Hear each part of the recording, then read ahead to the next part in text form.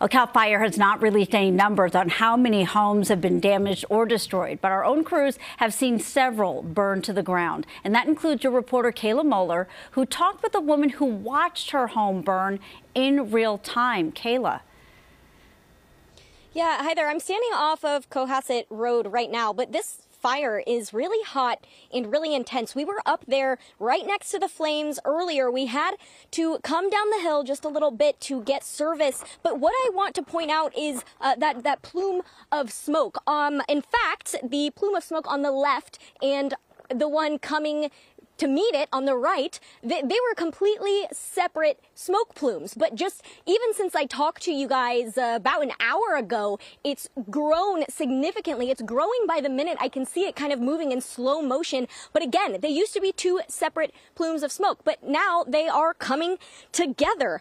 And we did. We spoke with a former CBS News anchor who watched her house burn through security camera footage in real time. She described it like a train wreck where you know you don't want to look, yet you just can't look away.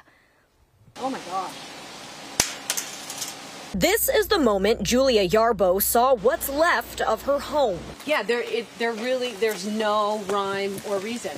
Um, our house gone, their house okay, house next to it, you can see it's gone. Flames ripped through her neighborhood off Cohasset Road overnight, and she watched her house burn down live through her home security camera. It, it really is almost a numbness, right? Um, it's surreal. Probably won't hit me till later, I'm pretty sure. You know, 30 years in the military, and I've been overseas, and I've seen some devastation and I thought this was a war zone. This man lives just a few houses down from Julia, but his home made it. Doesn't impact me. Thinking about, um, you know, people. I'm so happy my neighbor's house survived and that everybody's okay. After leaving their neighborhood, we went further in. This is what we saw at the end of Cohasset Loop Road.